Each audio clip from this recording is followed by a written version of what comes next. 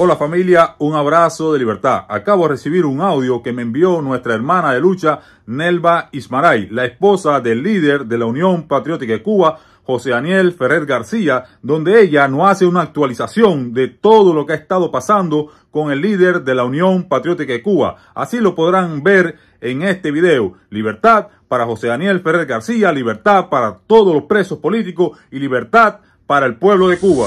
El pasado 14 de noviembre me trasladé hacia la prisión de Mar Verde en compañía de mi bebé Daniel José y un buen amigo de la familia que nos ayudó.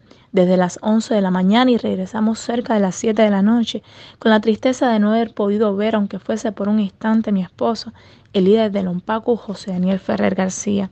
Nuevamente me negaron la visita familiar que sería de dos horas y que no se nos da derecho desde el pasado 27 de mayo que correspondía ese día, según lo que había dicho el sicario castrista que vino de La Habana y que se personó en la vivienda de mis padres el pasado miércoles 9 de noviembre, que se hace llamar el polaco, y el que además me hizo entrega de un escrito a mi esposo con las cosas que necesitaba. Solo pude realizar el depósito y recibir la negativa de parte de la jefatura de la prisión, que no se daría la visita alegando de que mi esposo se resiste a utilizar el uniforme de presa común. Todo esto tras horas antes haber recibido de un agente de la policía política una nota de mi esposo diciendo que le habían concedido cuatro de los reclamos de los cuales está haciendo desde el 4 de junio. Visitas familiares cada 25 días, las matrimoniales cada 30, 10 minutos de llamada telefónica cada viernes y recibir hojas blancas, lápices y bolígrafos. Sin embargo, a pesar de esto, mi esposo continúa semidesnudo y al haberse cumplido cinco meses y doce días en la misma celda de castigo tecnológicamente para torturarle. Ese día se cumplió 15 meses de estar confinado en esa mazmorra que le tienen totalmente aislado del mundo exterior y del resto de la población penal, sometido a torturas físicas y psicológicas constantes y permanentes, bajo condiciones degradantes, crueles e infrahumanas de salubridad sin comer nada de la prisión y exigiendo asistencia médica y estomatológica para sus patologías de base y las provocadas allí.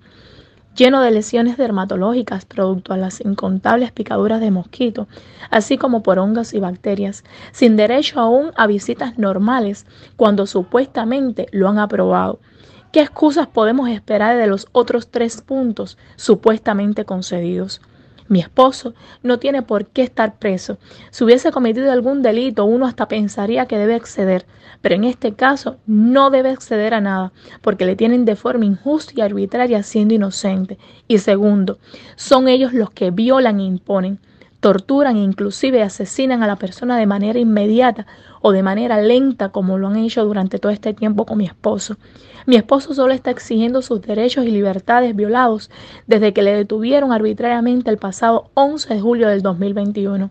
Seguimos responsabilizando a los dictadores Raúl Castro y Díaz Canel por su integridad física y psicológica.